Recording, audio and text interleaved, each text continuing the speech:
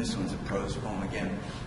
Um, in the interest of not taking up all the time, it's um, the Consol Energy Center is where the Pittsburgh Penguins play hockey. And um, when it was brand new and they were, you know, bringing everything in to outside, they left all the doors open, and all these English house sparrows got in there. So if you know the history of the English house sparrow, you will know they're still in there. and uh, my daughter loves hockey, and one of our friends is the Mario, Mario Lemieux, the owner's right-hand person. So we had this private tour of the Consol Energy Center, so we know the English house sparrow story. English house sparrows in the Consol Energy Center, and this is the epigraph. Without question, the most deplorable event in the history of American ornithology was the introduction of the English house sparrow, hmm. Um, W.D. Dawson, The Birds of Ohio, 1903.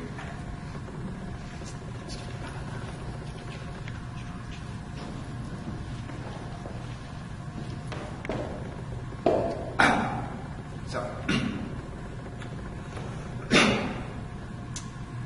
they snuck in when the arena opened. Loading docks beckoned the sparrow home like the first Brooklyn imports maybe a pair now and then, not some mad rush of starlings swooping along the river, so many that they look like the tattered flag of a country that's forsworn color. The house sparrow, old world import, old world import, captured, purchased, transported in cages. We ignored till they overran native birds, ravaged crops, windowsills, and hockey arenas. Our guide, Anthony, has become a sparrow expert of sorts, Though not his primary mission, he's been charged to rid the arena of its unwanted guests. Over 200, he guesses. He's learned something in his quest the house sparrow's feeding habits, breeding habits, lifespan. But all this comes to naught when he tries to kill them. What he learns is what's been learned. The house sparrow adapts, takes what it needs from what it's given, what we leave behind popcorn, peanuts, chips, water pooled in every hollow the arena offers. Sparrows nest high in the girders and come down when the arena is empty to feed in the aisles, perch on the best seats to watch the penguins practice skate. Our man has been tasked with eliminating the feathered rat. Had he known he'd agree with Dawson, the English sparrow must go. The bird has wrought a great deal of evil to our country chiefly. We imported the English sparrow. That was not nature's fault. We should rectify our error, drive out the English sparrow. Anthony's considered many agents of death for the wily birds that fly so fly so blithely, blithely through the Consol sky. He's got a list of failures. Antifreeze dough balls, but the birds were too cunning and popcorn too plenty. a cat's too smart to chase birds hundreds of feet up into girders. And if the odd dumb cats did, who would get them down? The falconer decided one falcon couldn't kill enough sparrows to scare the survivors away. Falcons are more like smart bombs. They hone in on one target, scare the rest into fleeing or submitting. Falcons are assassins, not mass murderers. The English sparrow's lifespan, Anthony doesn't like to call them house sparrows. He likes thinking of them as invading from England like the Beatles. He thinks his 12 months in the wild, 24 in captivity, but living in a hockey arena is the best of both worlds. Free to fly, feed, breed, live in a temperate environment free of all predators. So far, except Anthony, and he admits he's not been very predatory today. Anthony, this is going to be harder than you think. As one not bent on killing them has written, note the more cordial term, house sparrows can live for several years if their needs are met. Opinions vary, but some say house sparrows can live for two, four, and a couple vote for 13 years. Do the math, Anthony, read and weep. A few house sparrows can multiply into thousands in a few years because they regularly raise three and sometimes as many as five broods per year, each brood averaging around five or six birds. Say six, maybe ten but in those first days. Okay, they weren't paired, didn't come for a hot date. Some had to be boys and some girls, and now you're 10 or 200. This is exponential growth. You might reduce their food supply by meticulously cleaning after every event, but your staff thinks it's doing that now. Are you going to dun their wages for popcorn left in the aisles? Will they have to race the sparrows to see who gets the peanuts first? You can't poison the popcorn. There's fans and liability if people start dying faster than sparrows. I thought of suggesting you blast disco at night with strobe lights, like Psyops went after Noriega. But who knows what a sparrow loves and hates. I said no to paying circus high-wire flying Zambesis to catch the birds with dip nets. Inefficient, again, high liability, especially if they insist on doing it without nets. Maybe if all 800 TVs, this is true by the way, maybe if all 800 TVs showed Court TV, the Kardashians, or the Real Housewives of New Jersey marathons, Bud Sparrows might cultivate a certain weirdness and enjoy especially shows about humans looking stupid.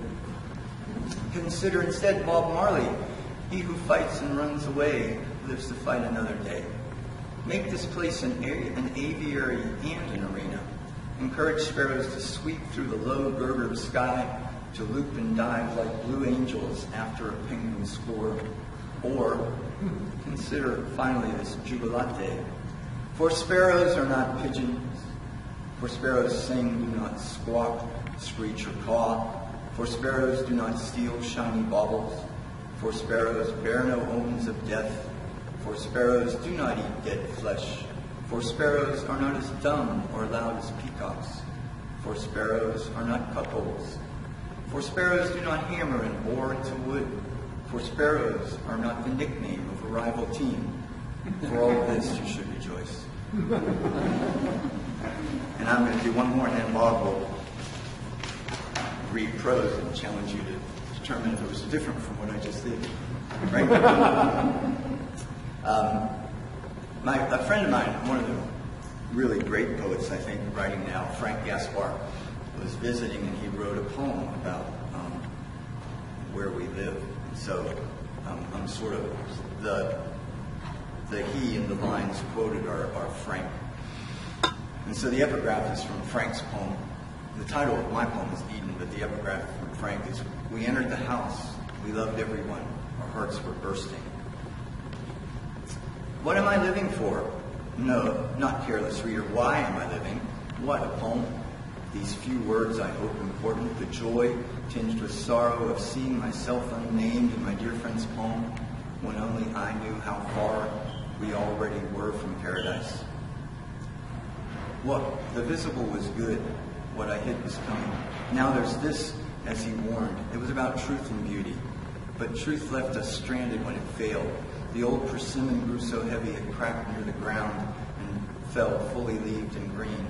I cut and stacked, though I knew there'd never be a fire. Beauty always leaves us outside. It's an idea, an emanation, which does not need to fulfill its being. Still, it was good. It made those moments of quiet awe I loved. What if this, as I suspect, is not enough? Truth, beauty, love. We all end up dead, mourned or forgotten, or both, each in its turn. Shakespeare claimed, as if proved, that a lover's beauty would never fade because he had written and loved. Well, so have I, but I'm no Shakespeare, just a journeyman overmatched by a good fastball, fooled by a curve that breaks out of the strike zone. I know illusion when I see it, but soon there's nothing left but desire and I go round again. So much like Eden, he wrote, but Eden sort of a priori entrapment like buying Indian ponies or grass from a narc was meant to be lost. It's the providence of what I no longer know. Though I'm no stranger, no novice, there's much I don't know, like how a highway from Charleston to Portal, North Dakota can bear one number and name. He asked, all those words around our glowing heads, isn't that what we make the world with? Maybe, I would say now. Maybe.